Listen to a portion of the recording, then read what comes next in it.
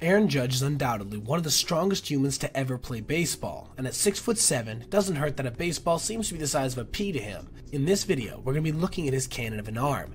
Check out this throw, a perfect strike to home to catch an angel trying to score. And then, later in that same game, another strike, this time to second base, to catch a runner trying to stretch a single.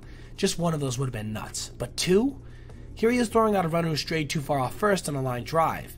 That looked like he barely flicked the ball, yet it probably traveled over 90 miles per hour. And lastly, look at this insane throw to third. Judge was almost at the warning track and still got the decently fast runner by a step.